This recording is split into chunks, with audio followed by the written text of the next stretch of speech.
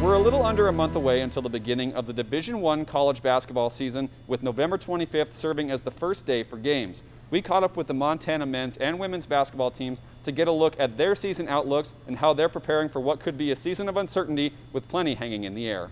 As college basketball prepares to get underway, new faces are the story for both of UM's men's and women's basketball teams. Mike Petrino leads the Lady Griz in his first season at the helm, and after losing stars to graduation and a pair of transfers, the Lady Griz welcome a squad with a Montana heavy freshman class and three new transfers as well. In a world of chaos, as we know with COVID, it's been uh, therapeutic to be in the gym and working, so uh, that's been a good part. We've been together for a few practices now, that, that part we're getting used to each other. So it's the practices have been fun, energetic. We're trying to make them that way. It's a tough time for everybody, tough time for our kids, but uh, I feel like they're bringing good energy and, and, working hard, and we're looking forward to. We learn more every day about ourselves, so that's good. Sophia Stiles, Maddie Schoening, and Abby Anderson are the core returners for the Lady Griz, with other rotation players like Jordan Schwayen, Kylie Froelich, and Carmen Gfeller back as well.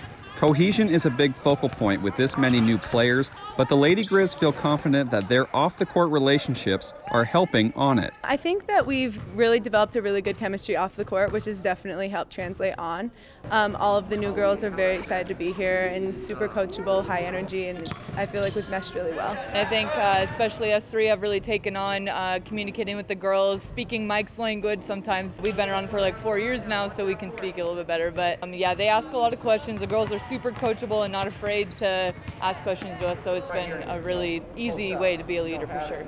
With the men, it's a similar story. Mack Anderson and Eddy Egun return as Montana's longest tenured rotation players, while sophomores Kyle Owens, Derrick Carter-Hollinger, and Josh Vazquez all return after earning heavy minutes as freshmen. Another key piece is Michael Steadman, a transfer from San Jose State who spent last year redshirting with Montana, learning the team's systems. The 6'10 Steadman has a lot of hype around him, and he's ready to get rolling. I plan to dominate. I mean, that's what I came here to do. Um, I want to win games at the same time. I want to get to tournament. That's been a lifelong goal of mine. To be on a like a winning traditional team and being a focal point in that offense, um, it's pretty exciting. So I think it's a good collective group, and I think we're going to be pretty good this year. Montana also welcomes another highly touted freshman class, as well as Division One transfers in Cam Parker, Darius Henderson, and Cameron Satterwhite from Northern Arizona to round out the group. Like the Lady Griz, getting this group of younger players and those new to the program to mesh quickly with each other is paramount early on. The men never took the court in Boise in March, and knowing what that felt like having their season end prematurely, they're excited to get back on the court and have a season at all. Well, it's really exciting. I mean, everyone was asking me all throughout the summer and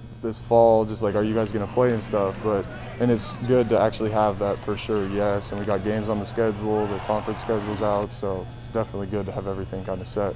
So for the Montana Grizzlies and Lady Griz, there is still plenty to work on leading up to that November 25th date. But as these athletes learned back in March, things are up in the air and at any moment could ultimately change. In Missoula, Kyle Hansen, MTN Sports.